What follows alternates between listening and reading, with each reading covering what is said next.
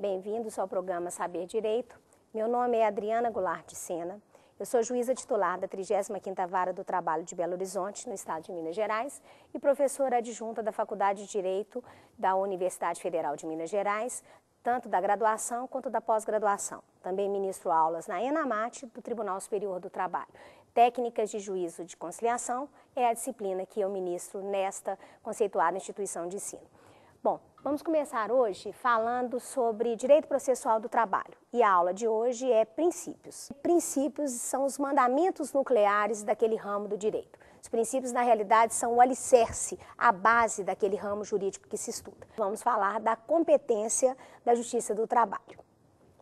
Bom, Falar de competência, alguns dizem que competência é medida de jurisdição, alguns dizem que não é bem isso, mas competência é algo nevrálgico, é algo importantíssimo quando se fala de um determinado ramo do direito. E a Justiça do Trabalho passou agora, recentemente, com a emenda constitucional 45 de 2004, por uma alteração substancial no que diz respeito à sua competência. Houve uma ampliação inequívoca na, através dessa emenda constitucional 45 de todas as matérias que são agora tratadas pela Justiça do Trabalho. Muito bem. A competência da Justiça do Trabalho, como também das demais justiças, ela é tratada no texto constitucional. A competência da Justiça do Trabalho é tratada no artigo 114 da Constituição. O chamado rito sumário é o rito daquelas ações cujo valor não exceda dois salários mínimos na data de ajuizamento da ação. Como o rito de alçada, né, como a causa de alçada é até dois salários mínimos, o rito sumaríssimo é até 40 vezes o salário mínimo o sumaríssimo não se aplica quando tenha o poder público no polo passivo. O procedimento comum ordinário é aquele que está previsto na CLT, dos artigos 837 a 852 da Consolidação das Leis do Trabalho. É, mesmo o ordinário, mesmo esse outro rito trabalhista, ainda aos olhos de, por exemplo, de uma, de uma pessoa que tenha tido a sua, a sua formação no processo civil, ainda assim é um rito que é tido como mais. É, é, menos formal, mais informal, mais concentrado, mais oral, ok? Agora vamos falar das audiências trabalhistas. Muito bem. As audiências trabalhistas, como o próprio nome diz, a audiência é ser ouvido, né, estar perante um juiz. E as audiências trabalhistas não tem muita diferença em relação ao que a gente aprende ou a gente estuda no processo é, civil e no processo do trabalho, exceto aqueles princípios que a gente já falou um pouquinho deles e que aqueles momentos, aquelas questões que forem diferentes, nós fomos pontuando no decorrer da aula de hoje.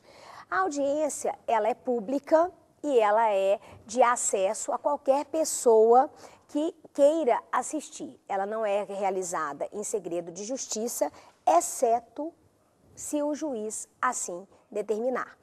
Pode ser audiência una, que é aquela em que realiza tudo numa única audiência, como é o caso do sumaríssimo, e que o legislador quer até que o juiz julgue a, a, o processo naquela audiência. Ou ela pode ser a chamada audiência inicial, e também tem a audiência de julgamento, essa audiência de julgamento, na realidade, grande parte dos colegas não realiza propriamente uma audiência com a presença das partes. É uma audiência em que a sentença, a decisão, ela é publicada. Vamos falar um pouquinho do que, que é prova, né? do conceito do que, que é prova. Né? Alguns dizem que a prova é um meio lícito para demonstrar a veracidade ou não de determinado fato. Então, meio lícito para provar a veracidade de determinado fato, com a finalidade de convencer o juiz, a prova é direcionada ao convencimento do magistrado acerca da sua existência ou inexistência. A prova não é apenas do convencimento para o convencimento do juiz da existência de um fato, mas também da inexistência de um fato. Muito bem. Esse é um conceito que nós utilizamos como sendo o conceito da prova, do meio de prova. A instrução do processo, como nós já dissemos no momento anterior, ela se realiza, grande parte dela, no, na audiência, mas ela também pode se realizar fora da audiência. Ela se realiza quando a parte começa a compilar os, os documentos que ela vai apresentar perante o juiz, porque os documentos são também um meio de prova. Quando eles apresentam em sala de audiência, quando ele, naquele momento da audiência, ele apresenta os documentos, e também quando realizamos a perícia, quando realizamos a prova testemunhal, quando o juiz pode fazer uma inspeção judicial. Então, prova, meio de prova, é muito mais do que quando a gente trata de prova, a gente imagina. Eu gostaria de relembrar o e-mail para eventuais perguntas, dúvidas, críticas, sugestões, que é o saberdireito@stf.jus.br. Quem quiser rever as aulas, basta acessar o site do TV Justiça, www.tvjustiça.jus.br e fazer o download da aula para poder assistir. Eu gostaria de agradecer a participação e a a, todo o cuidado que tiveram na apresentação dessas aulas e desejar o meu muito obrigado.